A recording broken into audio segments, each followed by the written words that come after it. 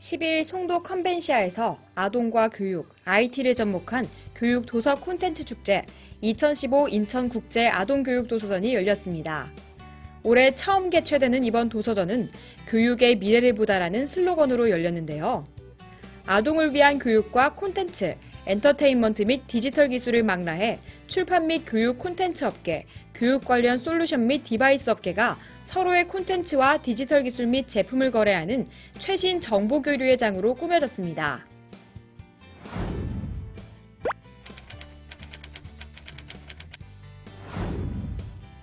인천시 부평구 10정 2구역 주거 환경 개선 사업이 본격적으로 재개될 전망입니다. 인천시는 11일 부평구 10정 2구역에서 국토교통부와 합동으로 10정 2 뉴스테이 사업 발표회를 갖고 뉴스테이 공급과 정비 사업의 연계를 통해 10정 2구역 사업을 다시 시작한다고 밝혔습니다.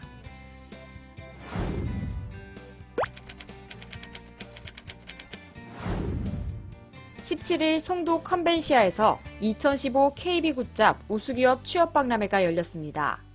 2011년 시작해 10회째를 맡고 있는 2015 KB 굿잡 우수기업 취업박람회는 취업교육과 연계한 다양한 프로그램을 진행해 구직자와 구인기업을 연결하는 단일 규모 국내 최대의 취업박람회인데요. KB굿잡 취업 아카데미 등 취업교육과 직업체험, 진로 상담에서 채용에 이르기까지 구직 전 과정을 원스톱으로 지원해 취업박람회의 새 장을 열고 있습니다.